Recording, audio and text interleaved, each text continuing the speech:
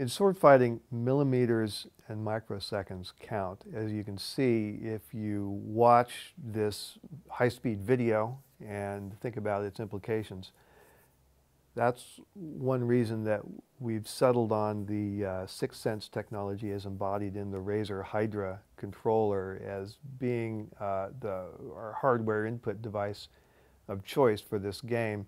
It's, uh, it's very fast and it's very precise.